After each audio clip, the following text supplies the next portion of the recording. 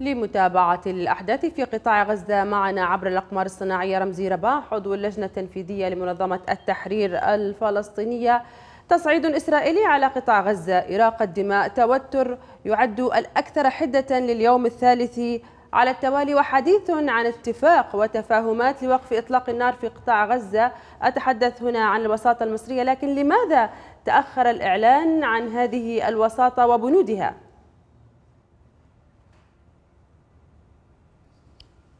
تحية لكم ولجميع مشاهديكم. آه، نحن اليوم الثالث آه، من هجمة إسرائيلية شرسة عدوان دموي تدميري هائل يلحق بأبناء قطاع غزة قصف الساحات والأحياء السكنية قصف المباني قصف البنى التحتية محاولة شل وتعطيل الحياة لفترة طويلة قادمة. إضافة إلى إلحاق آه، إصابات وخسائر بأوساط المدنيين. نعم هناك استهداف باغتيالات لكوادر ونشطاء من حركة الجهاد والفصائل الفلسطينية الأخرى. لكن من بين ال 41 شهيد حتى الآن و320 جريح حصيلة اليوم حتى الآن. نعم. هناك 40% 35 ل 40% أطفال. من بين الشهداء 15 طفل. وهناك نساء وشيوخ آه، ما بين الجرحى وأيضا الشهداء. وبالتالي هذا يؤشر إلى أن آه، ما تقوم به إسرائيل آه، لا يقل عن حرب إبادة ضد الشعب الفلسطيني وارتكاب مجازر بحق أبنائه. كل هذا في محاولة لتركيع الفلسطينيين. كل هذا للمحاولة من نيل من معنوياتهم. واستعدادهم للاستبسال والصمود والمقاومة دفاعا عن القدس ودفاعا عن حقوق شعبنا دفاعا عن حقه بالحرية بالاستقلال بإقامة دولة مستقلة بحق العودة للاجئين ودفاعا عن عروبة القدس وحضارتها وهويتها العروبية والدينية. وبالتالي نحن أمام معركة شرسة يخوضها الاحتلال مرة تحت دعاوى الجهاد الإسلامي مرات أخرى تحت دعاوى النيل من متطرفين وغيره لكن كل هذا لا يغطي على حرب شرسة تخاض ضد الشعب الفلسطيني. ولذلك الرد كان من الشعب الفلسطيني بكل قواه وفصائله ليس كلها أغلبيتها كان موحدا من خلال الميدان وعمليات الصد والرد على العدوان بالقصف آه، بما آه، هو متوفر من إمكانيات وإن نعم. كانت لم تكن كبيرة. وأيضا في آه، الموقف السياسي الوطني. الذي رفض الاستفراد بغزة ورفض الاستفراد بحركة نعم. الجهاد باعتبارها مكون من مكونات الحركة الوطنية وحركة المقاومة الفلسطينية.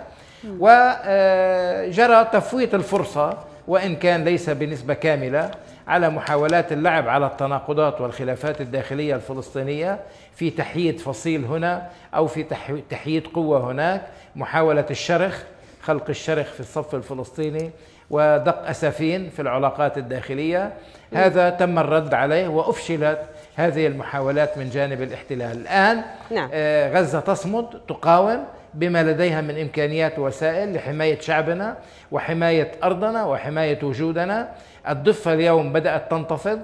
المسيرات والفعاليات في القدس ردا على آه، آه، اقتحامات المستوطنين بحماية جيش الاحتلال وبقرار حكومة العدو الإسرائيلي المتطرفة اليمينية بهذه تنظيم هذه الاقتحامات. اليوم القدس تحركت. أبناء شعبنا في الضفة الفلسطينية إلى جانب القدس وفي أراضينا المحتلة عام 48 تحركوا وهناك مسيرات وفعاليات وتعبئة عامة لن تبقى غزة وحدها هذا يجب أن يعرفه العدو الإسرائيلي. لا يمكن أن نقبل باستفراد جنين لوحدها غزة لوحدها. الخليل نابلس نحن شعب واحد ونحن شعب يكافح من أجل حريته واستقلاله. ولكن ما هي المشكلة الجذرية هي الاحتلال الإسرائيلي الجاري في قطاع غزة منذ أيام؟ ماذا عن التفاهمات الواردة والوساطة المصرية في هذا الصدد؟ هناك جهود تبذل نعم لإجراء وقف إطلاق نار وهناك اتصالات مكثفة تقوم بها مصر بشكل رئيسي. مشكورة الأشقاء المصريين دائما مبادرين في آه، يعني آه، حماية الدم الفلسطيني. ولكن هناك تعنت من الاحتلال. يحاول أن يضع شروط يحاول أن يضع نقاط في صالحه لأن الاحتلال فشل في تحقيق الأهداف السياسية ما هي أهم الشروط نعم الفلسطينية الموضوعة من قبلكم؟ ما هي أهم الشروط الفلسطينية لوقف إطلاق النار الحاصل؟ اولا ضمانات بوقف العدوان ووقف الاعتداءات على قطاع غزة من اغتيالات وعمليات قصف واستهداف مدنيين واستباحه دماء أبناء شعبنا هذه اولا نعم. إسرائيل ينبغي ينبغي أن آه، تبلغ موقف آه، موقف آه، وطني موقف عربي موقف دولي بضرورة وقف عدوانها نعم. كما قالت المقررة الأممية لحقوق الإنسان هذا هذه عدوان غير أخلاقي غير قانوني هذا يخالف الشرعية الدولية والقوانين الدولية هذا عدوان على شعب نعم. محاصر غزة محاصرة مفروض ماذا عليها ماذا عن الطلب الذي تقدمت به فلسطين عاما. لمجلس الأمن الدولي لعقد اجتماع استثنائي لبحث التصعيد الحاصل وإسرائيل في المقابل بحسب ناطق في الجيش الإسرائيلي تستعد لمواصلة العملية لمدة أسبوع آخر ما هو تعليقك؟